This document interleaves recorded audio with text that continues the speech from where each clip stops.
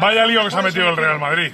Y cuando digo lío no solamente digo por la clasificación, sino lío por la dinámica perdedora que ha entrado el equipo de Zinedine Zidane. Es un conjunto que tiene un mal endémico que no es de ahora, es de hace dos temporadas. No le mete un gol al arco iris. Y cuando tú no metes goles, finalmente la historia se te complica.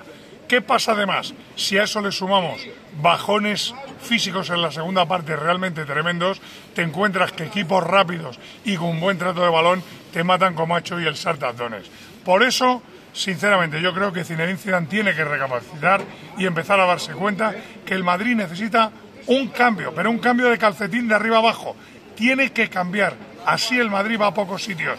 Y luego rezar a la última jornada para intentar meterse.